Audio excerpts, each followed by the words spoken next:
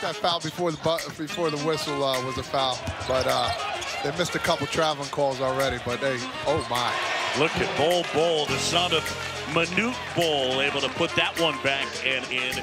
Still to come, our championship game. By the way, to be UConn and Iowa. Look at Bol Bol. I mean, you're talking 7-2, putting it on the floor and dunking. Watch this, John. This is seven feet two. Now, the the ball handling in itself for his size is tremendous. Now watch him. Avoids the contact.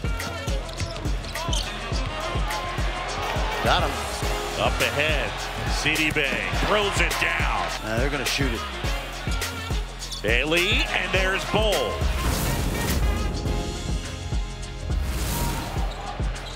A mean ball fake jumper. Got it. Big three.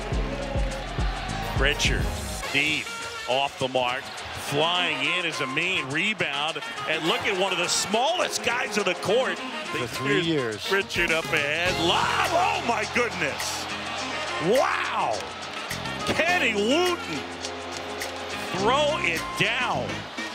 He was spring-loaded on that one. Wow. Oh, my goodness. Great. Please check social media ahead. Ducks win it here at MSG 80-65, the final. Dana Altman got to be happy with the way his team bounced back.